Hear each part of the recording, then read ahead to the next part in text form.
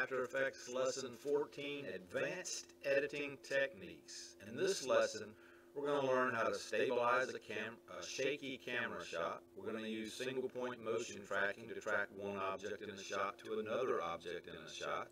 We'll remove unwanted objects from video using content aware fill.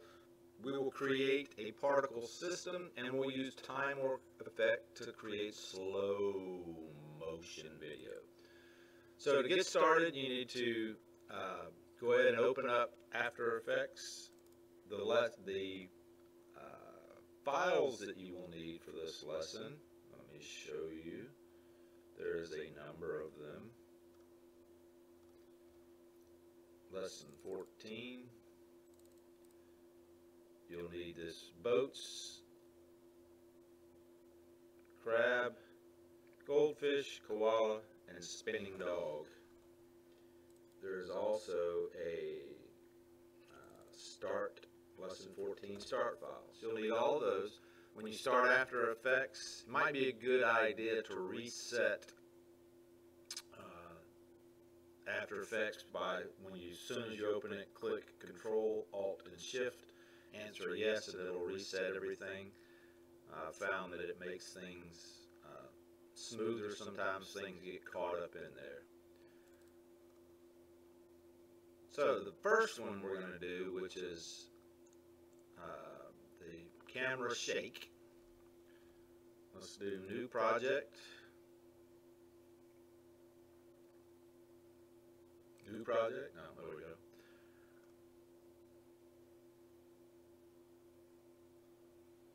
Let's click File, Save As. We're going to name this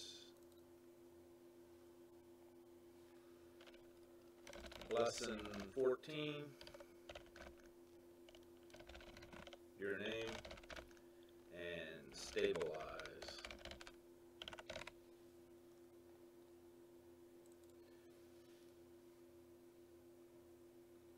And then click save. Then we're going to click new composition from footage. And we're going to go to your lesson 14 assets, wherever you have those. And we're going to open up the boats and import that.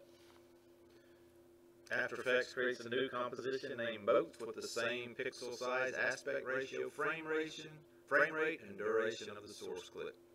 So if you press space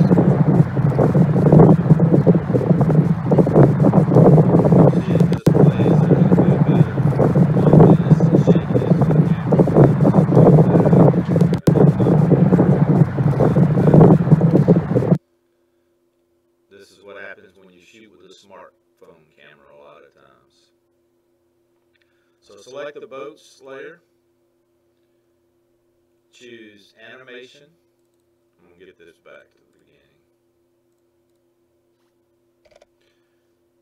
Choose animation and then warp stabilizer VFX.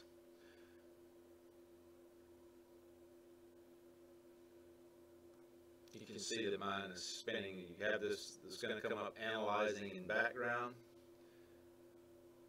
Then an orange banner will come up in a second.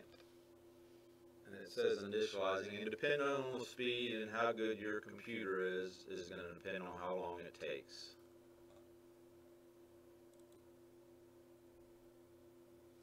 See, mine is now stabilizing. It took mine probably 90 seconds to do the first part and you could view it up here where it, it had a little timeline. So mine is complete. It took a couple of minutes to do it. Wasn't that bad. So when it's finished stabilizing and that orange banner has disappeared, press the spacebar to preview the changes.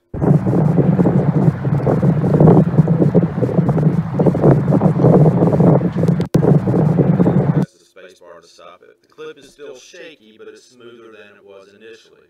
Warp Stabilizer VFX moved and repositioned the footage. To see how it applied changes, view the effects in the effects control panel. For example, the clip's borders were scaled up to about 107 percent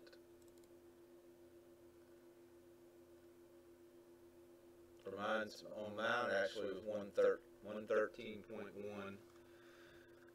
So it, that hides the black gaps that occur when the image is repositioned in that process. And we're going to adjust some of these things to make it a little bit better. In the effects control panel, increase the smoothness to about 79.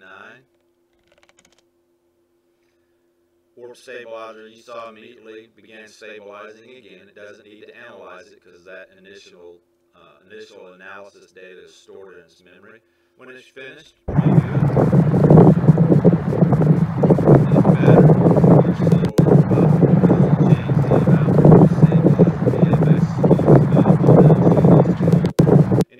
controls panel. In the result right here, instead of smooth motion, click no motion. You see that it did this little thing with the orange bar. With this setting, Warp Stabilizer VFX attempts to lock the camera in position. This requires even more scaling. When no motion is selected, the smoothness option is dimmed. When the orange banner disappears, preview changes. Camera is much steady. To achieve this effect, Stabilizer VFX adds Both analysis works well most of the times, but sometimes you may need to massage the results even further. You'll change the method that Warp Stabilizer uses for an even smoother results. In the Effects Controls panel, choose Position from the Method menu.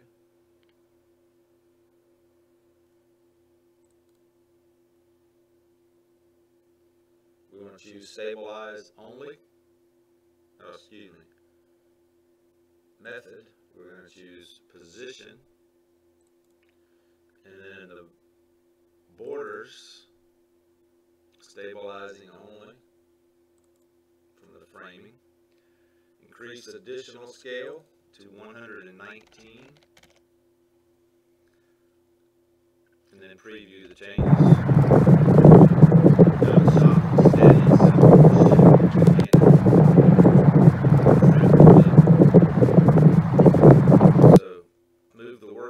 Start marker to 15.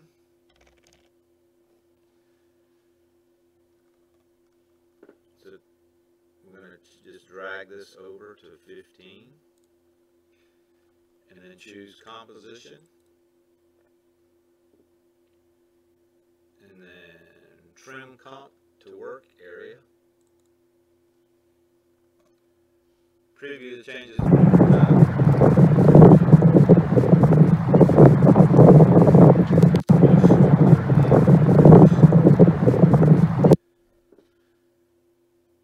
You to click File Save.